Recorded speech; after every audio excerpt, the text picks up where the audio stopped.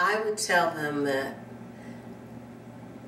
you lose some of the time what you go after, but you lose all the time what you don't go after. And so,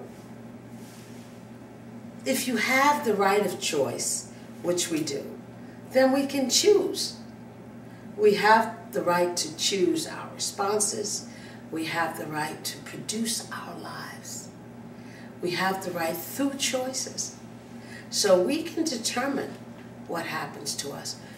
You can determine what happens to you by how you spend your time and how you spend your money.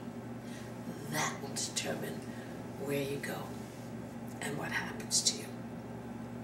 So that if you do nothing, there's a good chance that nothing's going to happen. Right.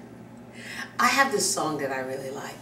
And the song is really a very simple, old fashioned gospel song. It says, If you take one step, he'll take two. Makes no difference what God can do. And I just think it's something about taking that first step that hits the button, that turns on the faucet, that allows the juices to come for you, puts things in motion, and then the unexpected. And you can expect from that one step, you can expect the unexpected.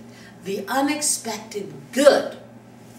And then how you, re how you react to the unexpected bad is a choice, and you have that choice.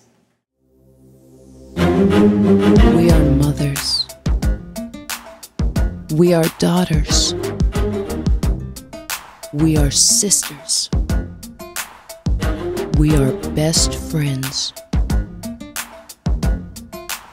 We are Moxy women. We take care of business.